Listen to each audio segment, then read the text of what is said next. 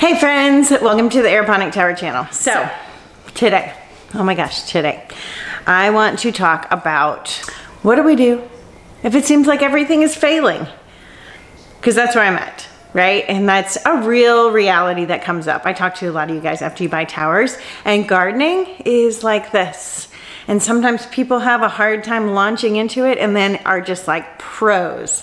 And sometimes people start off strong and then hit some roadblocks. And even though this type of gardening is after 20 years of experience, I can say this like very loud and I scream it very loud on this channel. This is so much easier than soil gardening, whether raised beds, no dig beds, permaculture, this is easier. This is more abundant. This provides me way more food than any of those garden systems ever did because I get consistent harvest all the time. But it's still gardening, which means it has challenges sometimes. And I think life adds to those challenges and you know, they can kind of come together when I'm not in alignment and I am not able to step up and do the things, then there is consequences. Now, again, these gardens will carry on without me for a while. And I was reminded of that today because I came out here, I just swept. I don't know if you guys can see that. There's some piles.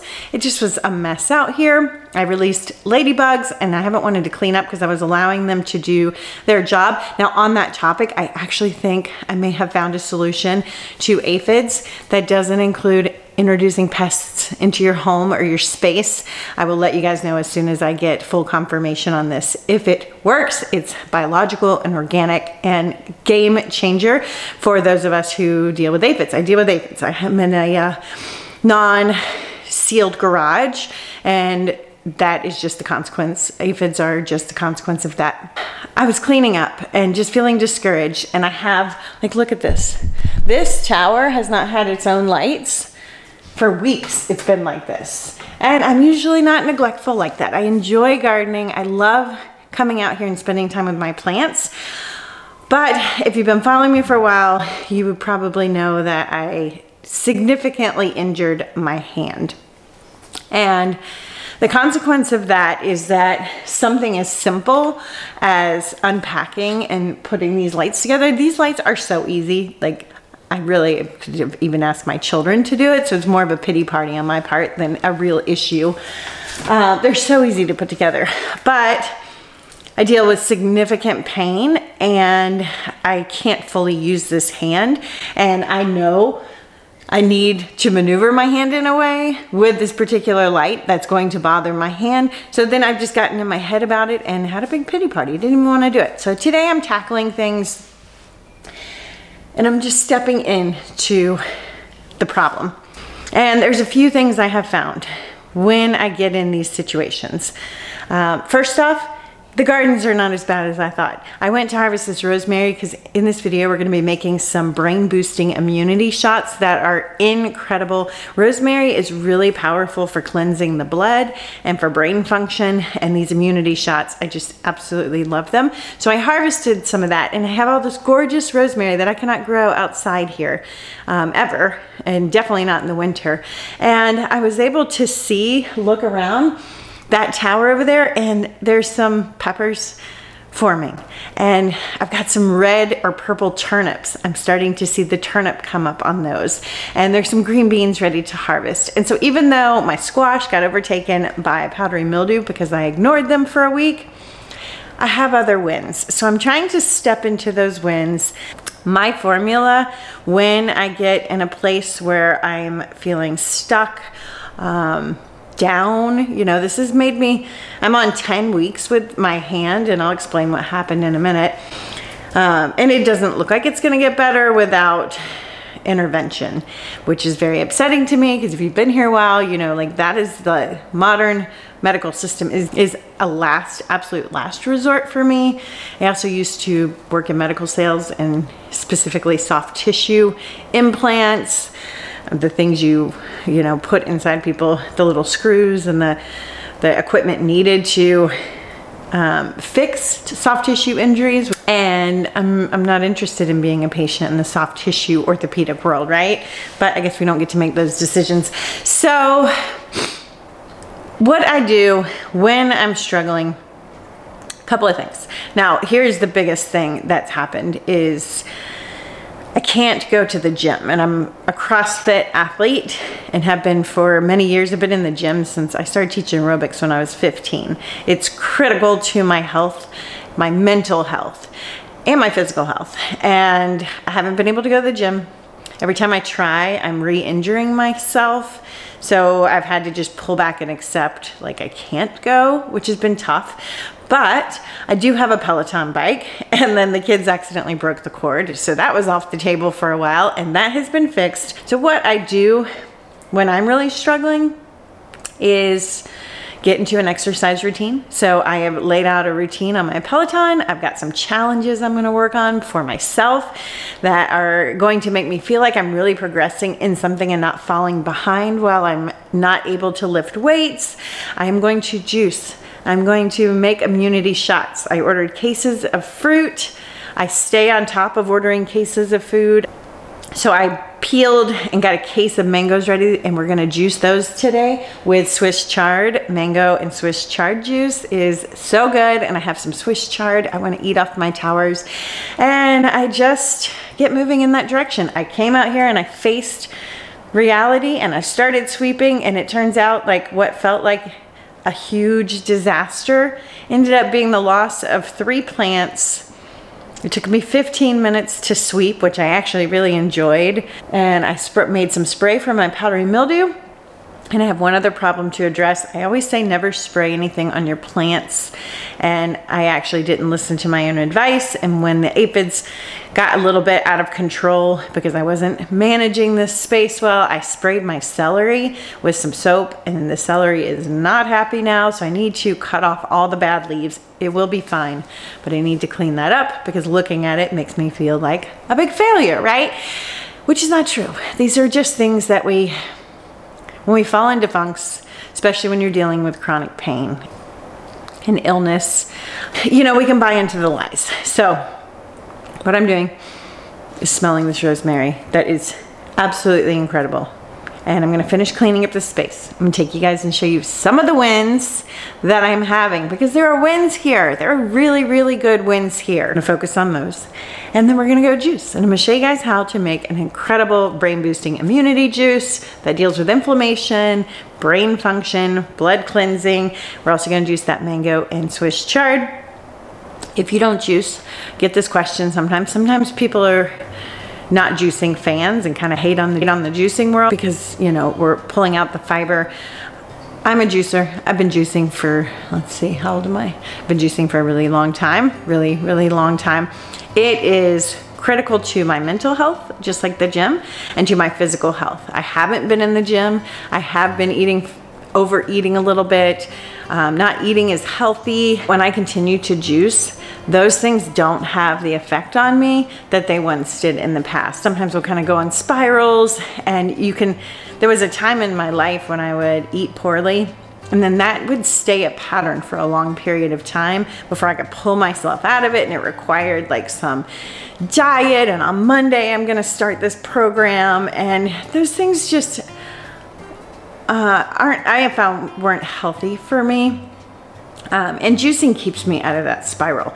Almost every night, regardless of what I ate that day. And that was another thing. If I ate poorly during the day, I didn't want to like eat healthy at the end of the day because I already made poor choices one all day and we'll start over next we'll start over tomorrow and then it becomes harder to start over the next day right I'm sure you guys know what I'm talking about it seems to be a human cycle a normal human experience with all the addictive foods that we have as a culture but I broke that cycle and even if I have had a bad day with food, I'm still juicing at night or taking an immunity shot and that just makes all the difference for me. So for me, bypassing my gut, because I eat a ton of fiber. I don't need more fiber in my diet. So giving my gut a rest and flooding my cells with juice and like a, an abundance of nutrition in the form of juice um, really works for my body. It's incredible. It's helped me in so many ways. Uh, really helped reverse a lot of skin issues. Diet, my weight seems to stay in check even when I'm not working out and I'm not eating as healthy when I'm juicing. And I think it's just because bad foods cause inflammation so we kind of swell up and the juice counteracts that and keeps me out of an inflammatory state is my theory. So Juicing is a huge part of my life. If you are a juicer, Tower is a no-brainer. I always have fresh greens every single day to come and juice, and that's incredible because when I was buying them at the Whole Foods, wow, was that expensive? So expensive. And now they're finding forever chemicals even on organic foods, and the whole thing is a mess, right? Greens are amazing for calcium and making sure we get enough calcium dark leafy greens. If you juice you need a tower. If you have a tower, I highly recommend trying juicing. I love it. It's been a game changer for me. So I'll show you guys my juicer inside. Let's take a little tour. So here on my home tower with the Baby Greens extension kit, I have lots of greens growing. I'm always heavily seeding these baby greens. We go through a ton of them. I also have some kohlrabi. The tomatoes are starting to come in and there's more greens gorgeous beets. Here's the rosemary I discussed earlier that we're going to juice today. The green beans are coming in on a regular interval, which is wonderful to have fresh green beans. I love to eat them raw with hummus. This is a beautiful Chinese spinach. Some peppers are starting to fruit. I have some gorgeous aloe. This is edible version that is amazing to add to your juices. And then the turnips are starting to come in. This is a purple turnip. So incredibly gorgeous. Turnip greens are one of the healthiest greens you can consume. And here's the gorgeous Swiss chard that we're going to juice today with the mangoes. Before we go inside, I'm gonna go ahead and build this light. I'm not putting it off any longer. And I thought I would take you along. I'll share my hand story, why we build this light. You don't often see me building the tower stuff here just because I think it's so self-explanatory. Um, but if you're new, you've never tried the lights, you'll get to see how easy it is to put them together. All right, so here's our box. And I actually just ordered one more of these because I'm gonna do this tower here with all my peppers. I have amazing pepper collection here. Um, there's a few more I want to try, but these will fill up the whole thing. Uh, there's 28 grow spots and I have 28 peppers in there. So what happened to my hand is I was on a GHD and a GHD is a piece of equipment where you lock your feet in and you do basically a back bend, touch the floor and come back up. It's an ab workout. And you can do it the other way where you're facing head down to the ground. Your feet are locked in here and you go down and up and it's a hamstring workout. I was doing the hamstring workout next to my son. We were lifting some plates and I put the weight down, leaned my body up, and you can rest on this because it's holding, you know, your body weight when you're not leaning forward. And I took my feet out. And then my son was like, hey, let's do a blowout session with no weights. I was like, okay. And I went down, but my feet were out already. So when I started leaning down, I started realizing I was gonna fall. We thought it was funny. It was really slow motion. And I was grabbing like this, trying to reach the floor to catch myself because it wasn't even that far. But at the same time, my feet were coming over the top of me. And when they came over my body, it just drove all my body weight straight into the ground. And unfortunately, because I was doing this in slow motion, I landed on the tip of my pinky, took the entire fall, all of my body weight. So this part of my finger broke. Um, I'm pretty sure it hyperextended backwards through here, like, you know, like went that way when it wasn't supposed to because this is the part that was broken. Uh, there was a lot of issues right through here and then went completely down sideways. So these separated. Um, I didn't see it when it happened. Obviously it was so fast, but just based on the things that don't work anymore, Seems like that's what happened. So basically, um, I lost complete feeling for a while. And I think that's what made me not, I figured there was a break, but that's the not having feeling um, is kind of what made me not realize how significant the damage I had done was because I actually couldn't feel it. And so for a while, I had no color or feeling in the tip of my finger, but actually it felt like my finger wasn't even attached to my hand anymore. Almost like when your foot falls asleep and it's like you don't have any control over it. It's just there, but it won't move. So it was like that for a while. And then since then, it's gotten better. Like I used to not be able to straighten my hand like this. I found a brace that's forcing it straight at night, but that's painful. And then like that is about it. That's all you're gonna get. So it's swollen through here. I don't know. I think the tendon that attaches this part of your finger and goes in between here is not connected anymore. So that's what happened. All right, here's our light.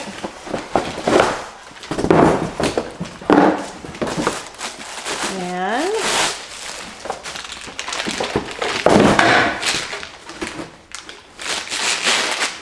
we're just gonna stick it right on.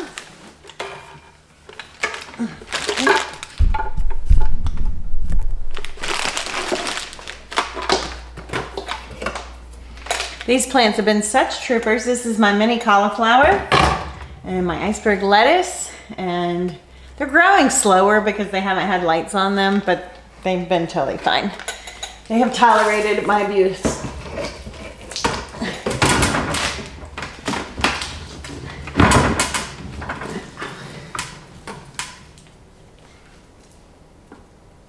Um, like a sticky cord thing you can put on your tower to hold this.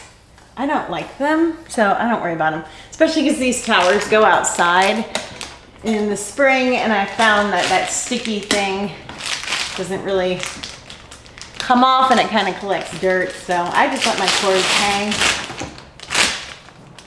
I'm just try and push them. You know, if they're on top of a plant, I'll move them out of the way. So we're gonna pull these down.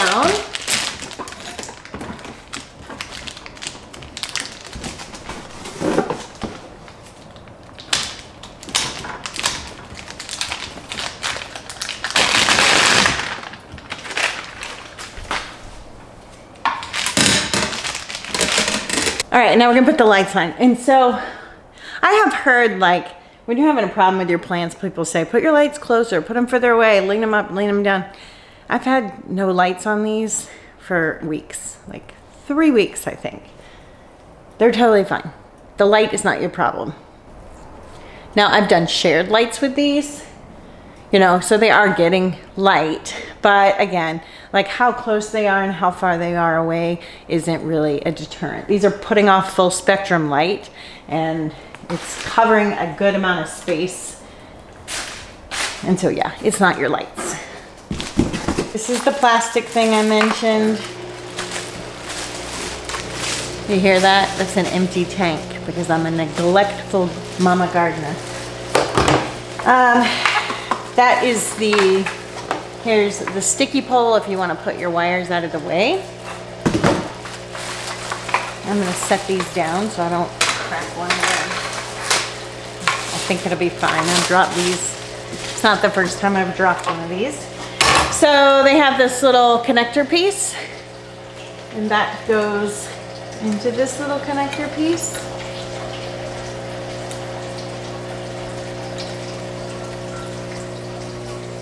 And this is the part I knew would hurt my hand. And there's a sticker. And we turn them. All right, one down. And the simplicity of these towers is one of the reasons I chose them. I just loved that everything was included and everything is set up for success. There's timers on everything.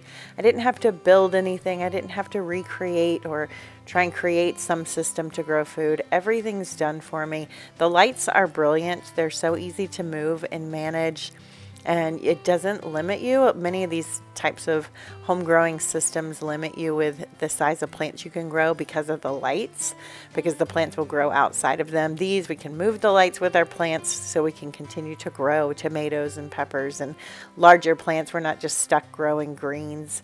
And I love that I can move these towers by myself too.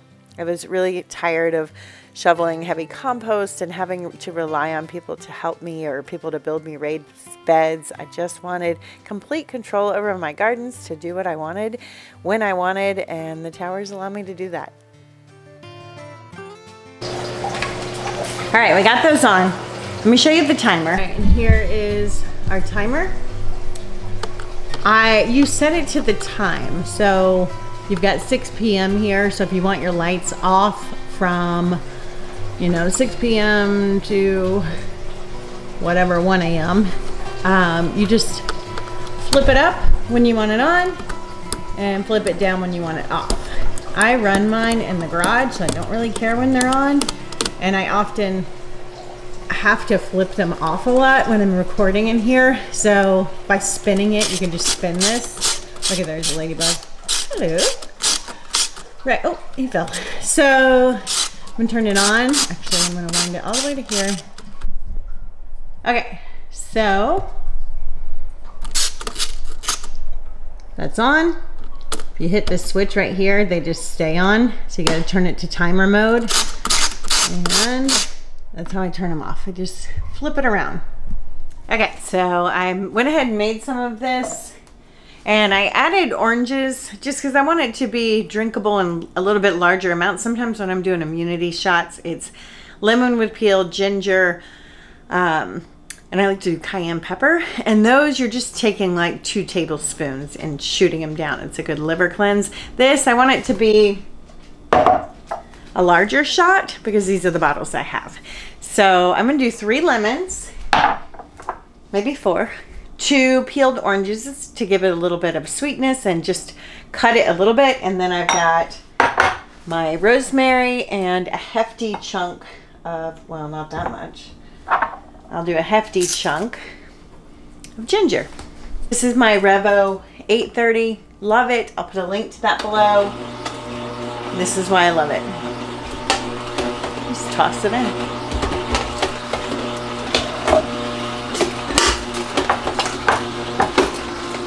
And I have a whole case of lemons and grapefruit and two cases of oranges. I've been going through a lot of them. A lot of these lemons I'm going to have to juice and freeze because there's a lot of them. But I order from food co-ops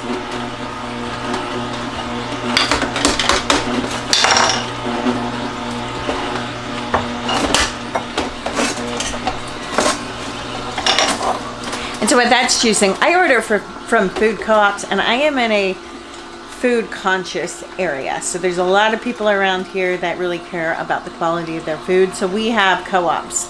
Um, someone else headed up the citrus co-op that I'm a friend with. And then I head up the Azure Drop for our area. And I have lived in areas where there weren't co-ops close by and the best thing to do is just start one. I actually was a part of a co-op and the woman basically all the food at the grocery stores, Whole Foods, Publix, whatever your grocery store is, and unless you have a local one, like we have a local grocery store type chain, a lot of that food comes from the same places and then the trucks take it to the different stores. We were ordering directly from the warehouses and so she headed that up. It was about an hour or so from my house so I started running one so there are ways to get creative and find cases of fresh produce in season and um, like coordinate with people in your community. You just got to be willing to research it, dig into finding solutions, and then finding people who are the same and like-minded who are interested in rallying behind you with it. You can tell how thick it is. Maybe you can tell. Mmm. Really good. Potent, thick, delicious. It needs more rosemary. All right, so for the next batch, I'll add more rosemary. For this one, I'm just gonna fill these little jars up, leave a little space on the top, and these are gonna go into the freezer.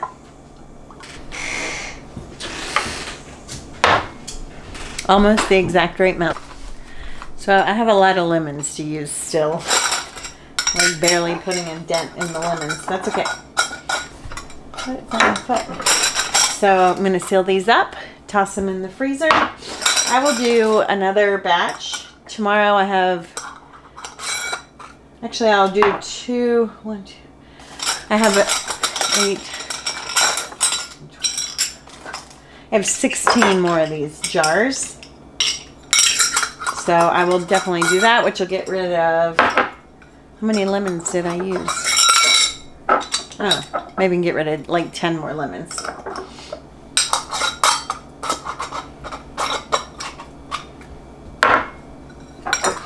These are super fun. Just to kind of grab as a, you don't want a whole juice, but you want to do something cleansing to the body. These are awesome. They are really good with cayenne pepper too. The next batch I'll probably put cayenne pepper in them. Okay. So off to the freezer these go and we are going to juice the mango and Swiss chard. All right, so the pulp goes to the chickens. If you don't have chickens, you can worm compost. I'll show you my worm compost in about a month. I'll have it going again. I have a really great one. And we're just gonna continue the process. Now with mango, it can be a little bit gritty and this is gonna make a lot of juice. So I need a different container. So I'm gonna strain this as it's coming out. That was it? Yeah, that was really like, little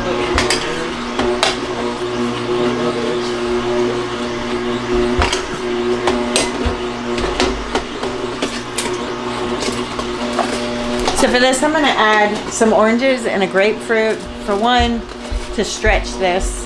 And I love mango, but mango is really a thick juice. And I'm not going for a thick juice, but I wanna use up the mango. So I also like mango and Swiss chard together.